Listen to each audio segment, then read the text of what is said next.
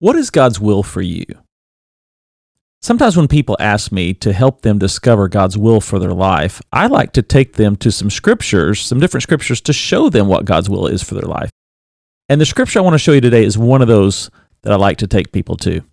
It's 1 Thessalonians chapter 5 verses 16 through 18. Rejoice always, pray without ceasing, in everything give thanks.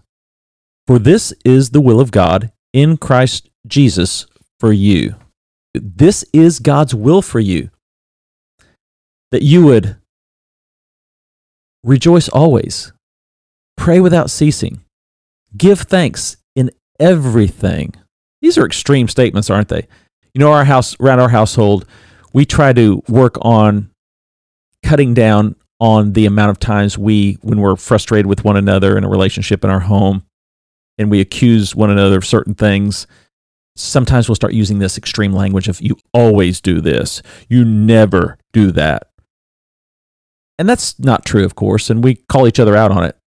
And so we're working on that, and it's something that we've, I hope, over time gotten better at. But here's one of those cases where God is the one who's saying what we ought to always be doing is giving thanks in everything, is praying without ceasing, is rejoicing always. I kind of did it backwards there.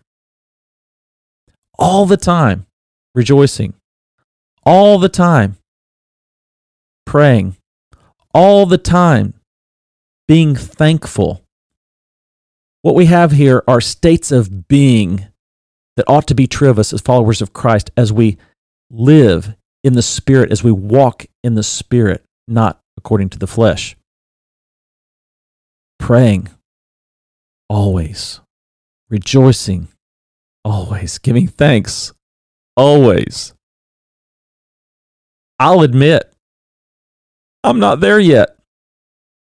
I've got a long way to go. I've got a lot to grow in. But these are worthy goals. And we ought to be increasing in these things. How are you doing in those three areas? This is God's will for us is to be striving after those things. So, as you think about God's will for your life, make sure when you're, in most cases, when you ask a pastor or you ask another spiritual leader or a friend of yours as a Christian to help you find God's will for your life, you're thinking about circumstances. You're thinking about what job should I take or what career should I pursue or when we were younger, what person should I marry? What's God's will for me in those areas? And there's nothing wrong with seeking the Lord about those things. In fact, you should. But always make sure that while you're expending energy in pursuing God's wisdom on in those areas, you're still first and foremost fulfilling his clearly revealed will for you. A life of constant prayer, a life of joy, a life of gratitude. This is God's will for you and for me.